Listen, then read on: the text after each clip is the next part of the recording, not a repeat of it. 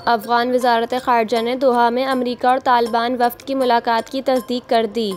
गुजशत रोज़ अमरीकी महकमा ख़ारजा ने ऐलान किया था कि अमरीकी हुकाम की रवा हफ़्ते दोहा में तालिबान नुमाइंदों के वफद से मुलाकात होगी, जिसमें मीशत, सिक्योरिटी और ख़वान के हकूक़ पर बातचीत होगी। ताहम रवा हफ़्ते होने वाली मुलाकात की तस्दीक करते हुए अफगान वजारत ख़ारजा का कहना है कि दोहा में अमरीकी वफद से मुलाकात में अफगान वफद की क़्यादत निगरान वज़ीर ख़ारजा अमीर खान मुंतकी करेंगे। अफगान वजारत ख़ारजा के मुताबिक दोहा मज़ाक में अफ़गानिस्तान की तरजीही, पाबंदी और ब्लैक लिस्टों को ख़त्म कराना होगा। दूसरी जानब, अमरीकी महकमा खारजा के तर्जुमान का कहना है कि तालिबान से मुलाकात का मतलब अमरीकी पॉलिसी में तब्दीली नहीं। जब अमरीका के मफाद में होगा, तालिबान के साथ मुनासिब तरीके से बात करेंगे। अमरीकी महकमा खारजा के मुताबिक अफ़गानिस्तान के अमरीकी नुमाइंदे खसूसी थॉमस वेस्ट और अफ़गान ख़वान लड़कियों और इंसानी हकूक़ की एलची रीना अमीरी तालिबान के वफद से मुलाकात करेंगी।